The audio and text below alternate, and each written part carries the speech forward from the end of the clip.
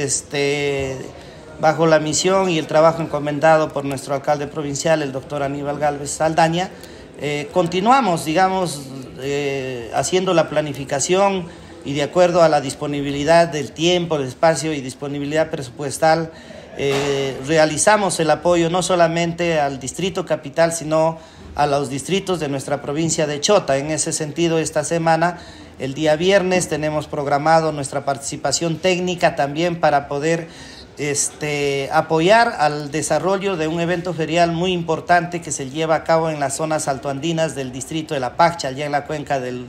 del río Yaucano. Me refiero al centro poblado de Uñigán, que también va a realizar su actividad eh, gastronómica, su actividad artesanal, eh, la Expo Ganadera Uñigán 2024. Nosotros vamos a vincularnos a este trabajo de apoyar técnicamente y hacer visible la calidad y la producción de leche a través del concurso de buenas prácticas de ordeño y mayor producción de leche. Este trabajo lo realizamos de manera coordinada con la municipalidad delegada de Uñigán.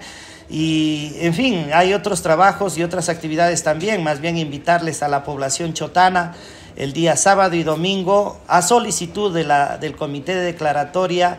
de, Provincial de la Alforja Chotana las madres de familia que confeccionan esta obra artesanal emblemática han acordado llevar a cabo su primer aniversario. Y el primer aniversario se va a llevar a cabo en el marco de una exposición de tejido, tanto de adultos como de niños, en nuestra Plaza de Armas el día sábado 24 eh, y el día 25 participar de este esplendoroso y colorido desfile de alforjas a través de sus propietarios. Va a haber una exposición de las alforjas más antiguas. Estamos en búsqueda de la alforja más antigua de Chota eh, y se van a exponer lógicamente este fin de semana y luego del desfile izamiento que será a cargo eh, de las maestras artesanas que han viajado a la ciudad, hacia el país de México. ¿no? Pasaremos a realizar una ceremonia protocolar de reconocimiento a las madres artesanas de la alforja chotana aquí en el auditorio de nuestra municipalidad provincial. Esas son las actividades que estamos, digamos, programando, no sin antes también